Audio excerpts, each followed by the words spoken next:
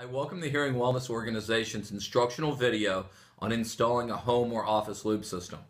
We'll be covering basic techniques to hide the wire to create the antenna for the system, to connect the system to your television or sound source, and to answer as many basic questions as we can.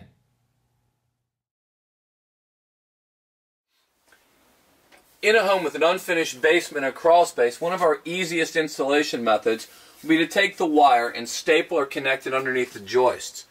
This will broadcast the signal up into the room, eliminating all of the obstacles in the room. You won't need to pull couches out, that kind of a thing. Makes it a very quick installation.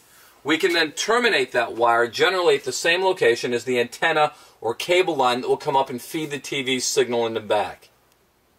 When we're installing in a home and we have a carpeted floor, one of the things we'll do because there's padding here is we'll very carefully start to remove the carpet. I use, like to use needle nose pliers to start, but then I'll use my hands to make sure we're not damaging the carpet. We just want to get it up off of the tack strip. Here we can see the tack strip and the padding. That'll give us a path then that we're going to have the wire come across. Again with carpeting on the opposite side of the door, we'll get our carpet off of the tack strip. Then here we have our fish stick. Now I prefer fish sticks here as opposed to fish tape because the tape will curl. Where the fish stick, the fiberglass rod will go straight across our doorway. We want to insert it just inside of our tack strip there and just slide it across the door. You'll see it slides nice and easy. Just get it right across there. And then from the other side, be able to pull this back and with our padding, we'll see our fish stick is right here to go ahead and attach our wire to, be completely invisible and perfectly safe then as we cross this doorway.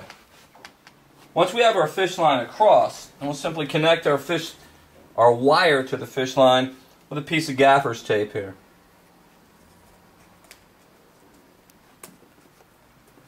The type of tape is unimportant, just the connection here to make sure we're securely connected We'll simply pull it across our opening here. Gently pull across. And here's our wire on the other side. Very quick and easy process. Where you have padding in a home carpeting, this process works very well and is very easy. In commercial carpeting, where we're going to deal with glued down, it's a different process and we'll talk about that later. We simply need to get the, the carpet reattached to the tack strip this tool is called a carpet tucking tool. Costs about $7 at Lowe's or Home Depot. It's absolutely perfect. We'll get a nice push here against the wall, and then we'll take this in this fashion, and between the two, we're perfectly connected, 100% invisible, we're all good to go.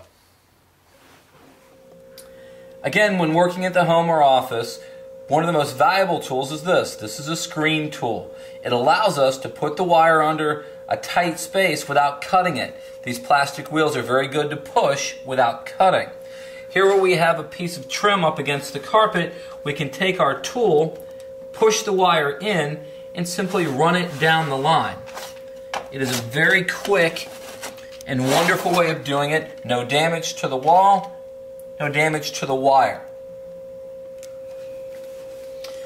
Here again, we have a home or office installation, but now we don't have a distance from our trim to our carpet. The carpet's tight up against there.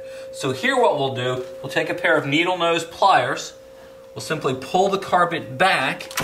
When it's glued down like this, we can work it, again, nice and easily with our hands, get it started. We can take our wire then and simply get it tucked in, between in behind there.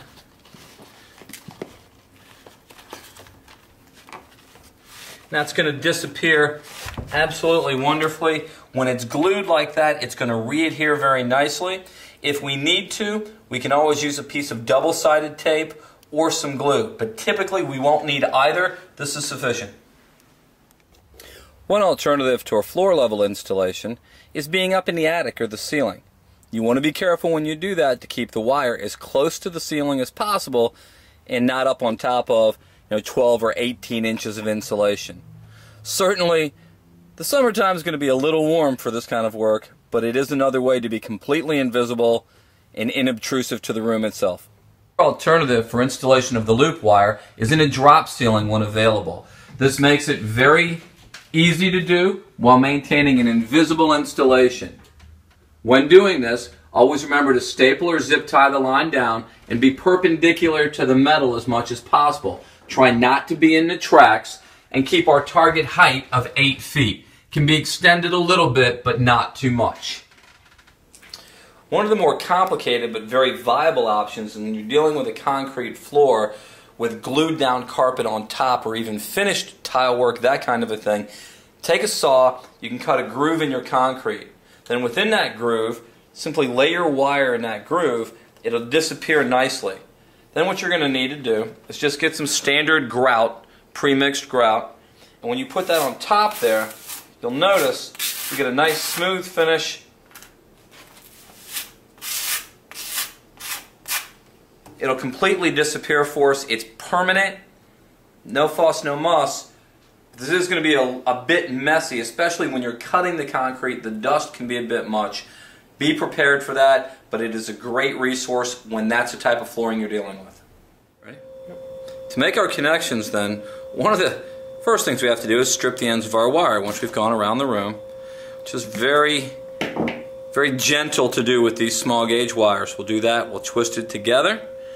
Then we'll open up the back here, put it in, in our hole, and tighten it down. That gives us a good connection. Were you to connect this without stripping the wire, you will not have a connection and no signal.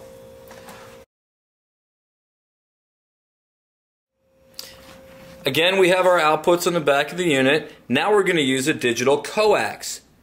You can see the difference between the digital coax connection and the RCAs RCAs are multiple. You have a red and a white for your audio. Here we have a single output that your digital coaxial will always be a single. In this case it's orange. Simply going to connect up here. When we go to the back of our unit then, we have our coaxial connection and we have a selector switch here. It was set to optical. We're going to slide that switch over to coax. And we're going to take our coaxial and connect it there. Now we're connected. Again, in this case, we have multiple options for connection. We're going to use the digital optical. And using this cable, we'll take the cover off of the tip. That's simply a protective cover we must remove before connecting. Once that's off, we'll take this and click it in the back. Equally so for the back of the loop driver then, remove the cover and then simply square into the top, put it until it clicks. And now we're connected optical out to optical in on the loop driver. Again, our third possible output here, we have a line out with audio right and left. The yellow is for video. We won't need that. Here's our RCA connection, our analog connector that comes with our kit. We'll simply connect it here.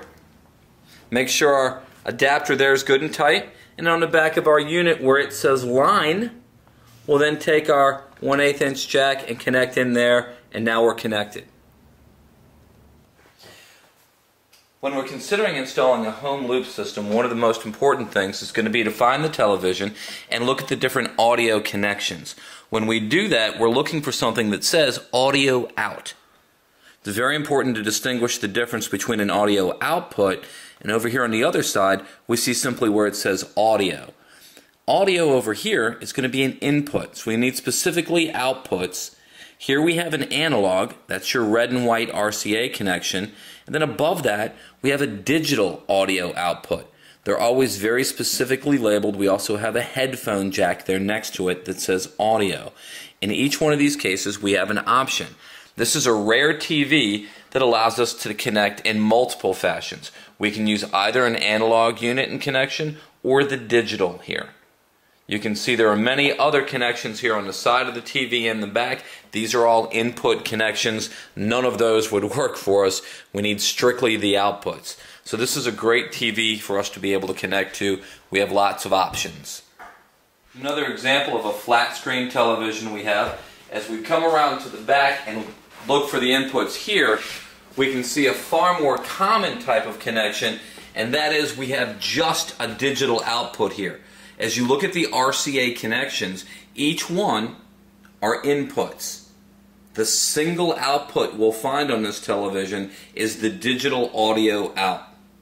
This will require the in-loop 600, or if you use an analog unit, this is an example of needing that digital analog converter. Here we have an older tube style television and as we come into the back you'll see many connections again all RCA but only one is going to be labeled audio out. This will be our target. In the case that those weren't labeled we look for an owner's manual. If they don't have one you can often go to the internet based on the television and model number download one. For our older tube television, here's an example of what we've printed off from the internet to find where our connections would be. You can see a clear diagram here and as it relates back to the TV and then a description of what each one will do. The internet in this case has been a great resource to find these things, especially older televisions where it may be rubbed off over time or in some cases not labeled at all. This provides us that map of what we need to find out where our connections are. Here's an instance where if the TV's outputs are either taken or don't exist, we can come to a cable box and take our output from there. Again, you can see the RCA connections are going to be inputs. We look to our right of those, we'll find the digital audio output. Again, clearly labeled as an output. One more option, such as on this TV, again we'll look to our labels. You'll see here's a headphone output. If that's our only available, we can take that, plug our 1 8 inch cable in, and get our connection over to our unit then to our line input here. Always be careful with this choice though, as in some TVs, using the headphone jack may turn off the external speakers. In that case, you'd have to look back to your user's manual to see if you can override that feature or you may have to look at another option. When we're using an output source from a television, be it a headphone jack or sometimes even our digital outs, it's possible that may turn off the internal speakers. It's also possible that we may not have a good output signal. One of the ways we can verify that is take our MP3 player or telephone, use our 1 8 inch cable, connect it to the headphone jack in our phone, and play music. At that point, we can verify that our loop is good, we'll have a good strong output. We know the loop is right, the output is correct. We need to go back to our source, in this case the television, and verify that we're getting a signal out of that. Once we have our connections made, our loop run, we're ready to test and verify our signal. We have an IEC standard that we can measure the strength of the signal with our field strength meter. That lets us know that we've met those standards. However, in a home, the ultimate standard is the user's ability to hear that signal and know that it's good and strong to their satisfaction. For that, we'll simply turn it on and then verify with our loop listener that we have a signal. Once we've heard it, we can then make sure that they're in the right program, that their batteries are connected, those kind of things for their hearing aid to make sure we're in good shape. Once they get the big smile on their face, we know we've done well and the loop's great.